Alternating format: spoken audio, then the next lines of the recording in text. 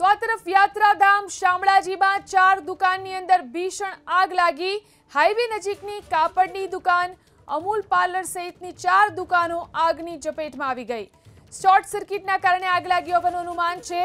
આગ લાગતા જ ચાર દુકાનોની અંદર માલ સામાન બળીને ખાખ થયો.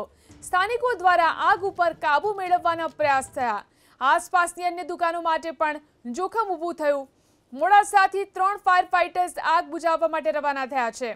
યાત્રાધામ શામળાજીની અંદર આગ લાગવાની આ ઘટના બની. હાઈવે નજીક આવેલી દુકાનોમાં આગ લાગી.